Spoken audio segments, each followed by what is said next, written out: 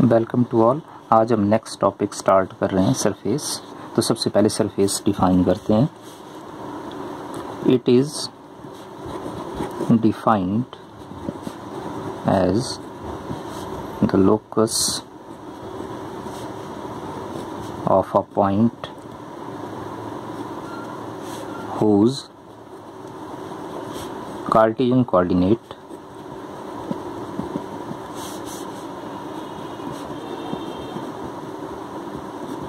X comma Y comma Z Cartesian coordinator को किससे represent किया? एक्स वाई जेड से रिप्रेजेंट किया और पॉइंट को मैं पी से डिनोट कर रहा हूँ।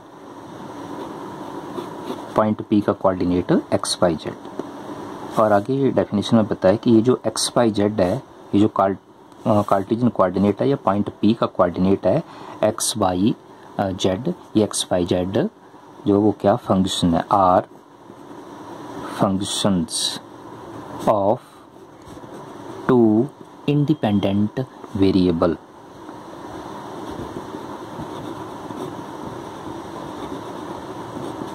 independent variable जैसे आप इंडिपेंडेंट पैरामीटर बोल सकते हैं इंडिपेंडेंट पैरामीटर्स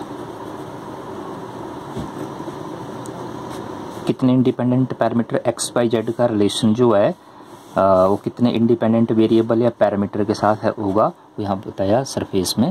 बोला दो दो इंडिपेंडेंट पैरामीटर हैं और उन दो इंडिपेंडेंट पैरामीटर को रिप्रेजेंट किया यू और वी से। तो मैथमेटिकली इसे कैसे रिप्रेजेंट करेंगे? जैसे बताया कि एक्स बाई जेड का रिलेशन किसके साथ है बोला यू और वी दो इंडिपेंडेंट पैरामीटर या दो इंडिपेंडेंट वेरिएबल के साथ है। मैथमेटिकली कैसे एक्सप्रेस करेंगे इसे कि एक्स वी एक्स का रिलेशन भी यू और वी के साथ होगा बाई का रिलेशन भी यू और वी के साथ है और जेड का रिलेशन भी यू और वी के साथ है। इसे आप ऐसे भी डिफाइन कर सकते हैं कि X is a function of U and B Y is also a function of U and V and Z is also a function of U and V therefore we can express X Y Z in terms of U and B तो कैसे express करेंगे? सबसे पहले मैं x लिखता हूँ इसे। X is equal to F of U comma V function को मैंने एफ़ से रिप्रेजेंट किया। ऐसे बाई भी यू और वी पर डिपेंड कर रहा है, then this means that y is also a function of u and b. तो फ़ंक्शन को रिप्रेजेंट किया सेकंड फ़ंक्शन को रिप्रेजेंट किया मैंने इससे g से। और थर्ड वेरिएबल क्या? पॉइंट पी का जो कोऑर्डिनेट उसमें थर्ड वेरिएबल जेड है तो जेड भी किसके ऊपर डिपेंड है? जेड भी किसका फ़ंक्शन है? यू और वी का। तो थर्ड फ़ंक्शन को मैंने रिप्रेजेंट किया किससे? एच से। H of U comma U comma V this is the representation of function तो क्या बताया आपको? डेफिनेशन में क्या बताया? It is the locus of a point uh, P whose Cartesian coordinate point P का कार्टिजन कोऑर्डिनेट को किससे रिप्रेजेंट किया? X बाई जेड से रिप्रेजेंट किया। और x बाई जेड जो वो किसके ऊपर डिपेंड है? X बाई जेड जो वो किसका फ़ंक्शन है? दो इंडिपेंडेंट पैरामीटर या दो इंडिपेंडेंट वेरिएबल का। और वो उन दो इंडिपेंडेंट वेरिएबल को क्या कंसिडर किया? यू और वी और एक्स वाई जेड को in terms of U B function form में कैसे एक्सप्रेस करेंगे? ये सिंपल पॉइंट है ये। और ये लोअर क्लासेस में फ़ंक्शन तो आपको पता ही है। प्लस टू लेवल में फ़ंक्शन में एक वेरिएबल कंसिडर करते हैं। यहाँ कितने वेरिएबल कंसिडर किए हमने? दो वेरिएबल जैसे मैं अभी बता रहा था कि सरफेस से पहले आपको एक टॉपिक करवाया तो मैं पॉइंट बताऊँगा। सरफेस से पहले आप उन्होंने आपको टॉपिक करवाया कर्व्स इन स्पेस और कर्व इन स्पेस में मैं आपको बताया था, ये स्पेस में एक पॉइंट आपको मैं थोड़ा सा ये बेसिक आइडिया फिर दोबारा रिपीट कर रहा हूँ। कि स्पेस में एक पॉइंट कंसिडर किया था और उस पॉइंट पी के कोऑर्डिनेट को किससे रिप्रेजेंट किया था? एक्स वाई जेड से, अगर आपको याद है तो। और एक्स वाई जेड जो है, या ये तो आपको पता एक्स वाई जेड जो वो किसके ऊपर डिपेंड डिपेंड बताया था this point coordinate of point P depends on single parameter single variable और उस सिंगल पैरामीटर या सिंगल वेरिएबल को किससे रिप्रेजेंट किया था? टी से। तो क्या बताया था कि एक्स भी टी के ऊपर डिपेंड है बाई भी टी के ऊपर डिपेंड होगा और थर्ड वेरिएबल जेड भी किसके ऊपर डिपेंड होगा? टी के ऊपर डिपेंड होगा। जब आप कर्ब स्पेस में आपको बताया था कि जब आप स्पेस में कोई पॉइंट कंसिडर करोगे कर्व के ऊपर कोई पॉइंट कंसिडर करोगे, उस पॉइंट पी का कोऑर्डिनेट कंसिडर करोगे, और वो कोऑर्डिनेट जो वो किसके ऊपर डिपेंड होगा सिंगल पैरामीटर पर डिपेंड होगा तो उसे कैसे लिखेंगे? उसे इस फॉर्म में लिखेंगे। आगे क्या बताया था कि जो पॉइंट पी का coordinate X Y Z this X X Y Z are components of position vector ये सारा पॉइंट आपको कार्बन स्पेस में, आपको डेफिनेशन में बताया ये कार्बन स्पेस की डेफिनेशन कि एक्स वाई जेड जो वो किसका कंपोनेंट है पोजीशन वेक्टर का। पोजीशन वेक्टर को किससे रिप्रेजेंट करते हैं हम लोग? आर से। तो इसे कैसे लिखते हैं? ये तो आपको बताया ये। तो पोजीशन वेक्टर की वैल्यू क्या आएगी? वेक्टर फॉर्म में ये X I plus Y J plus Z के। क्योंकि एक्स बाई जेड जो वो किसके कंपोनेंट है? पोजीशन वेक्टर के और पोजीशन वेक्टर को स्मॉल आर से रिप्रेजेंट करते हैं। आगे क्या बताया आपको? किसी शॉर्ट फॉर्म में आप ऐसे भी लिख सकते हैं, कैसे? R is equal to R of X Y Z इसे ऐसे भी लिखा जा सकता है।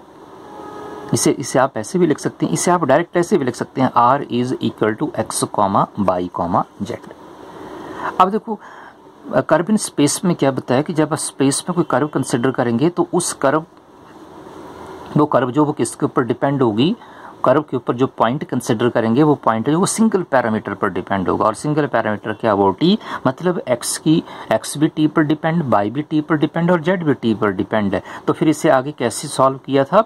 एक्स आर की वैल्यू क्या आएगी? पोजिशन वैक्टर की वैल्यू क्या आई? X of T Y of T Z of Z of T X भी टी पर डिपेंड बाई भी टी पर डिपेंड है और जेड भी टी पर डिपेंड है। तो मैंने एक्स वाई जेड की वैल्यू पुट कर दी।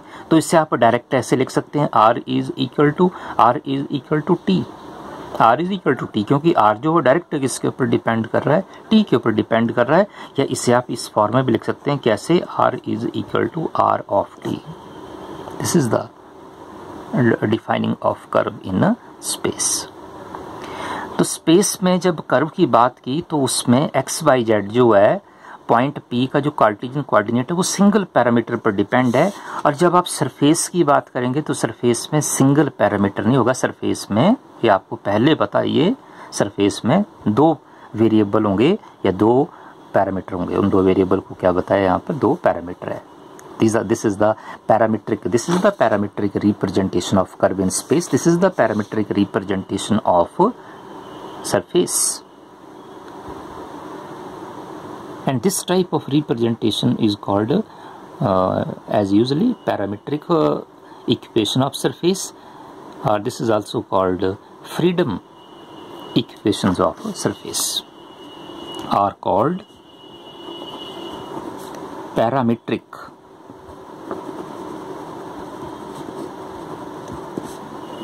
Equations of surface and it is also called और क्या बताया इसे? इस पैरामीट्रिक जो सरफेस की पैरामेट्रिक रिप्रेजेंटेशन लिखी इस पैरामेट्रिक रिप्रेजेंटेशन को और क्या बोलते हैं? It is also called freedom equations of surface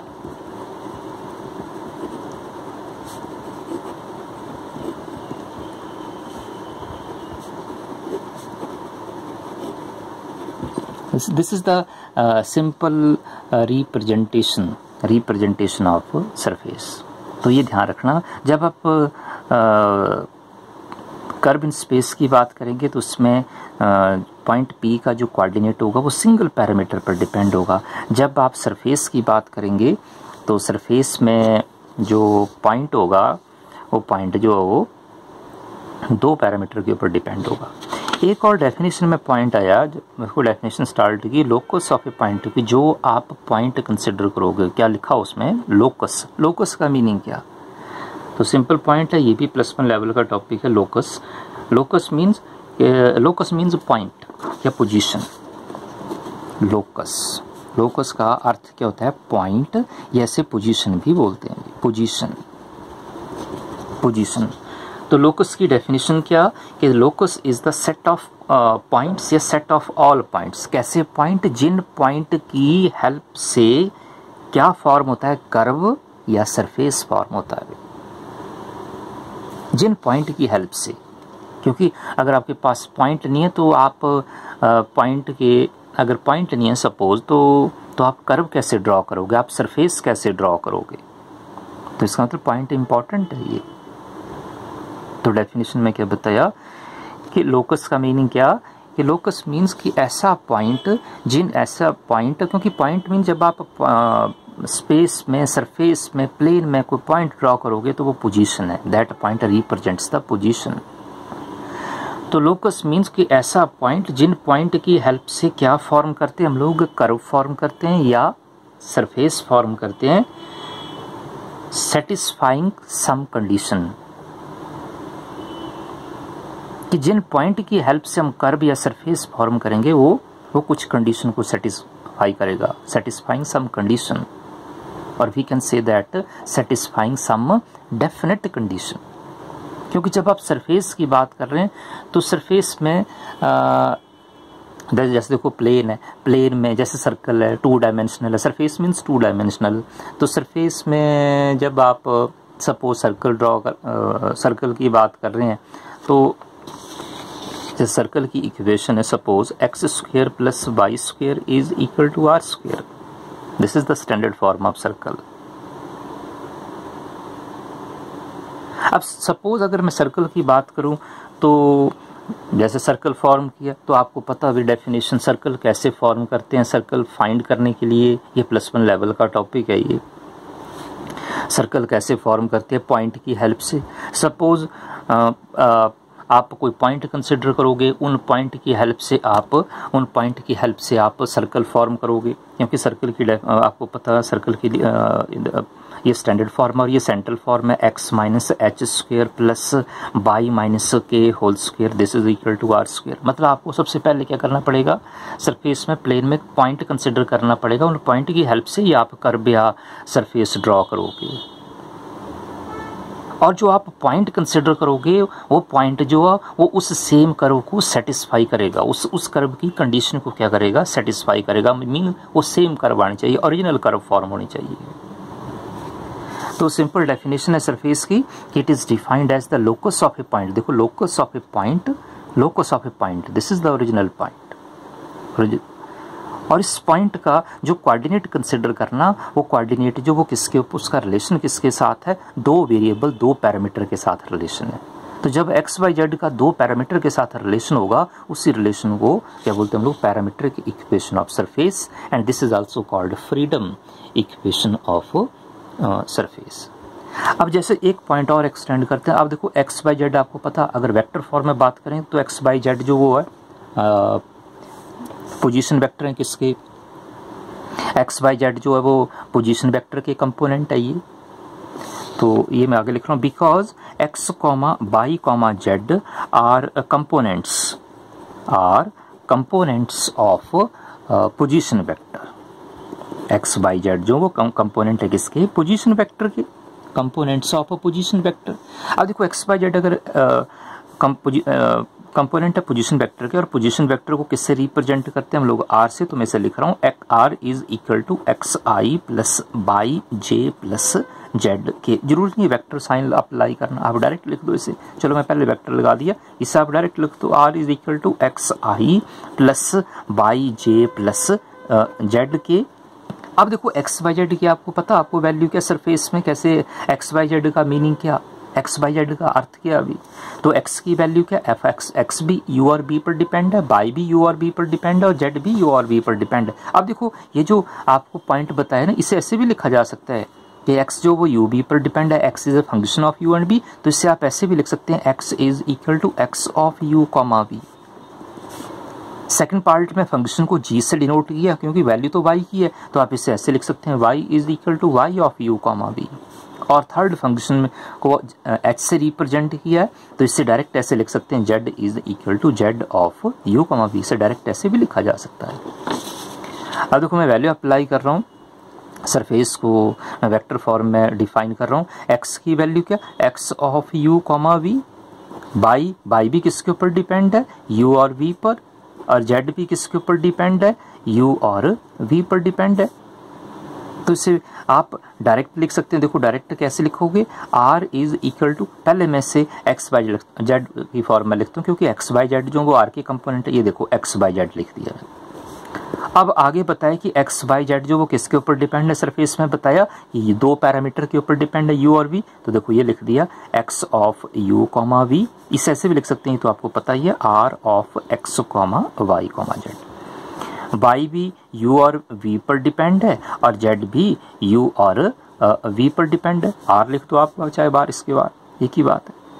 तो आप इसे डायरेक्ट भी लिख सकते हैं। क्या डायरेक्ट लिख सकते हैं कि आर जो वो डायरेक्ट किसके ऊपर डिपेंड है? यू और वी पर डिपेंड तो ये लिख दिया r is equal to u और वी और इसे ऐसे भी लिख सकते हैं r is equal to r of u comma this is the representation of surface in vector form and this is called Gaussian form of surface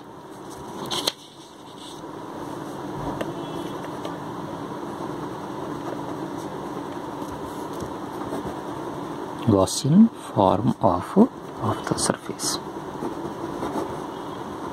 और ये जो पैरामीटर है, दो इंडिपेंडेंट वेरिएबल जिसे पैरामीटर बता बताया आपको these two independent uh, uh, parameter or variable are called curvilinear coordinate. U comma v are called curvilinear. Curvilinear coordinates curvilinear coordinates और कर्वेलिनियर कोऑर्डिनेट्स को और क्या बोलते हैं? सरफेस क्योंकि सरफेस के से यू और वी का रिलेशन है, क्योंकि सरफेस के साथ है ये रिलेशन है तो इसे सरफेस कोऑर्डिनेट्स भी बोलते हैं। Surface surface coordinates of the current point of the current point u और वी को क्या बोलते हैं? कर्वेलिनर कोऑर्डिनेट और यू और वी का रिलेशन किसके साथ है? एक्स, वाई, जेड के साथ है। और एक्स, वाई, जेड जो वो किसका? कोऑर्डिनेट है, कार्टिजन कोऑर्डिनेट है, पॉइंट पी का। तो ये जो पॉइंट पी है से करंट पॉइंट बोला है। क्योंकि पॉइंट कंसिडर किया और ये जो आपको इक्वेशन बताई params this is the parametric equation of surface इस पैरामीट्रिक इक्वेशन ऑफ़ सरफेस को ये किस फॉर्म में this is this parametric equation of surface is an explicit form this uh, representation in parametric form of surface is called uh, is an form explicit explicit form explicit form अब देखो एक और point है जैसे important है जैसे आपको पता लग गया कि सरफेस को रिप्रेजेंट कैसे करेंगे तो ये आपको क्लियर हो गया पॉइंट जैसे क्या बताया कि एक्स भी किसके ऊपर डिपेंड यू और वी के ऊपर डिपेंड वाई भी किसके ऊपर डिपेंड है, ये भी यू और वी पर डिपेंड है। दो पैरामीटर पर डिपेंड होगा। और जो थर्ड पॉइंट है, ये भी दो ही पैरामीटर पर, दो ही पैरामीटर पर डिपेंड है ये। इससे मैं नंबर वन लिख देता हूँ। Suppose suppose if we eliminate अगर इस पैरामेट्रिक रिप्रेजेंटेशन में से इसे सॉल्व करें साइमल्टेनियसली और इसमें से अगर आप यू और वी को एलिमिनेट कर दें तो आपके पास जो रिप्रेजेंटेशन आएगी, वो किस फॉर्म में आएगी? एक्स वाई और जेड फॉर्म में आएगी। अगर यू भी एलिमिनेट हो जाए तो आपके पास जो लास्ट में वैल्यू आएगी, वो किस फॉर्म में आएगी? एक्स वाई जेड जो आपके पास रिलेशन आएगा, वो एक्स वाई जेड फॉर्म में आएगा। तो सपोज़ अगर यू और बी को अगर आप एलिमिनेट करेंगे यहाँ से तो आपके पास जो रिलेशन आएगा, वो किस फॉर्म में आएगा? एक्स वाई जेड फॉर्म में आएगा। रिलेशन आएगा और उस रिलेशन को मैंने किससे रिप्रेजेंट कर दिया? कैपिटल एफ़ से। कि if we eliminate u v from one then we get a relation of the form या आपको कर्बिन स्पेस में बताया ये। We get a relation of type और उस रिलेशन को किससे रिप्रेजेंट किया? कैपिटल एफ़ से और इन टर्म्स ऑफ़ क्या आएगा? वो एक्स बाई जेड फॉर्म में आएगा। And this type of surface this is the this is the old definition of surface old definition of surface old definition of ये surface के ये सरफेस की देखो डेफिनेशन है ये this is the old definition and this is also called implicit implicit this uh, this relation this type of uh, uh, definition of surface is called implicit equation of surface implicit uh, equation equation of surface and this is also called this is also called it is also called it is also called concentrate concentrate concentrate equation of surface this is the old definition ये, ये surface की देखो old definition है ये तो simple definition तो आपको पहले कार्बन स्पेस में आपको ये पॉइंट पॉइंट बताया तो सिंपल है। एक और, जैसे जब आप यू भी एलिमिनेट करेंगे तो आपके पास इंपॉर्टेंट है। तो आपके पास जो सरफेस आएगा, जब आप एक्स बाई जेड में से पैरामीट्रिक रिप्रेजेंटेशन में से पैरामीटर को एलिमिनेट करोगे, जो तो आपके पास जो कर्व आएगी, वो किस फॉर्म में आएगी? एक्स बाई जेड फॉर्म में आएगी। जो आपके पास रिलेशन आएगा, वो एक्स बाई जेड फॉर्म में आएगा। And this type of relation is also called this type of surface is also called Monge's form of surface पर उस सरफेस को रिप्रेजेंट कैसे करते हैं हम लोग? तो ये पॉइंट बताता हूँ।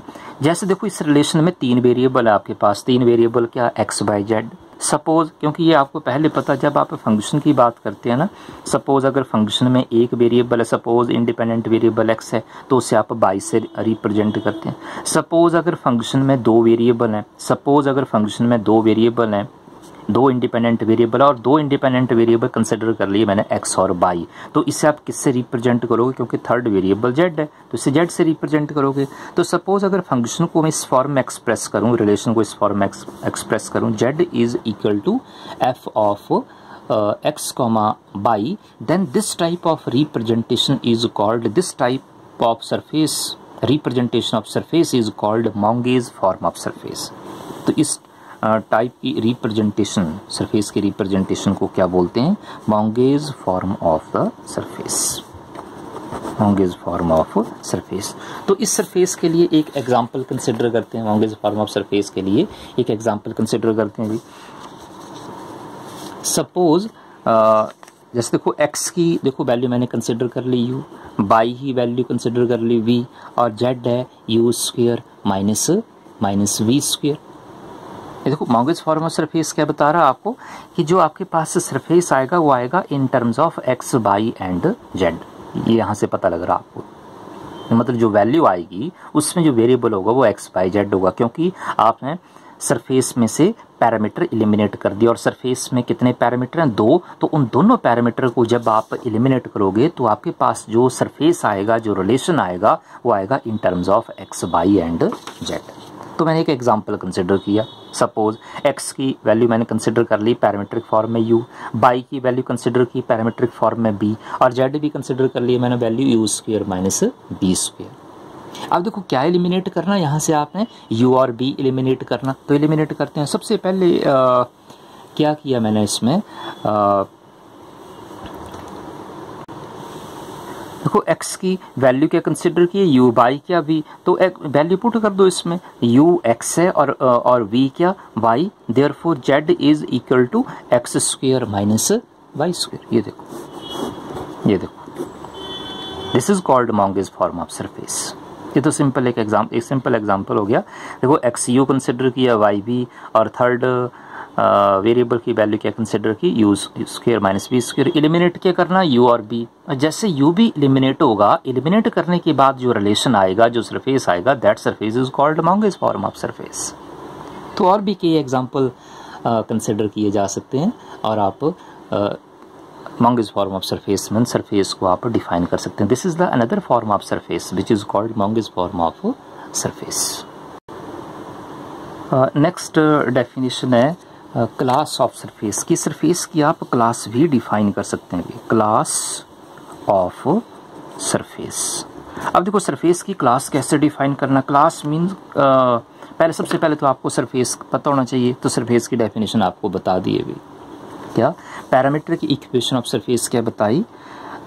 X is equal to f of u comma v y is equal to g of u comma b z is equal to h of u comma b this is the parametric representation parametric representation of representation of surface अब देखो इस surface का क्या define करना आपने class define करनी तो class define करने class means class means order class means order order means तो आप प्रीवियस क्लास लोअर क्लासेस में आपने ऑर्डर पढ़ा हुआ है। ऑर्डर मींस डेरिवेटिव की बात कर रही है। डेरिवेटिव तो डेरिवेटिव जब भी आप फ़ंक्शन का डेरिवेटिव फाइंड करते हैं तो उस फ़ंक्शन के लिए कुछ एक कंडीशन है भी इंपॉर्टेंट है भी।